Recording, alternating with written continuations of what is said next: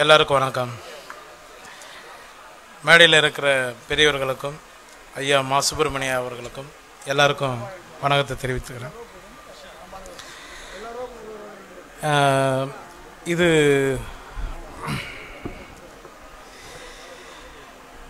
முதல்ல எனக்கு வந்து நம்ம ஐயாவோட ஆஃபீஸ்லேருந்து ஃபோன் வந்தது. ஃபோன் வந்தோடனே கேட்டாங்க. இது மாதிரி வந்து ஒரு விஷயம் நல்ல திட்டம் பண்ணுறோம் அப்படின்னு.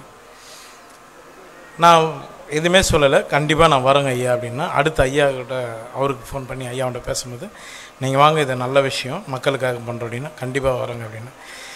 ஏன்னா நானும் ரொம்ப கஷ்டப்பட்டு தான் வந்திருக்கேன். இங்கே எல்லாருமே சொன்னீங்க ந- நட்சத்திரம் இன்றைக்கி சினிமாவில் ஒரு நல்ல இடத்துல இருக்கேன். நானும் வந்து ஒரு பத்து வருஷம் வந்து ஆர்மிக்கு ட்ரை பண்ணி அது மிஸ் ஆகி அப்புறம் சென்ட்ரிங் வேலை சிறு சிறு தொழிலாம் பண்ணி தான் நான் வந்தேன். செக்யூரிட்டியாக இருந்தேன். நிறைய வேலைகள் பண்ணேன். அதுக்கப்புறம் ஒரு பத்து வருஷம் சினிமாக்காக போராடினேன். சினிமாவில் சாப்பாடு வாய்ப்புகள் இல்லாமல் நிறைய இடங்கள் அங்கங்கே சுற்றி நைட்டில் ஆர்ட் டைரக்டர் ஒர்க்லாம் பண்ணியிருக்கேன். ஆர்ட் டைரக்டரோட அசிஸ்டண்ட் ஒரு நாளைக்கு ஒரு முந்நூறு நானூறுரூவாய்க்கு போயிருக்கேன். அதெல்லாம் எனக்கு வந்து அந்த டைமில் இவங்கக்கிட்ட பேசினதுக்கப்புறம் எனக்கு அன்றைக்கி ஒரு நைட்டு ஒரு ரெண்டு மணி நேரம் மூணு மணி நேரம் நான் யோசித்தேன் என்னோட பழைய வாழ்க்கையை. அதனால தான் நான் இன்னும் கொஞ்சம் சில விஷயங்கள் மாறாமல் இருக்கேன். ஐயா நல்லது செய்கிறவங்க என்றைக்குமே நல்லா இருப்பாங்க ஐயா. நீங்கள் ரொம்ப நல்லா இருப்பீங்க ஐயா.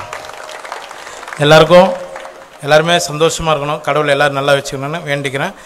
ஐயா முதலமைச்சர் ஐயாவுக்கும் ஐயாவுக்கும் இங்கே மேடையில் இருக்கிற எல்லாருக்கும் உங்களுக்கு எல்லாருக்கும் நான் நன்றி தெரிவிச்சுக்கிறேன். ரொம்ப நன்றிங்க. நன்றி.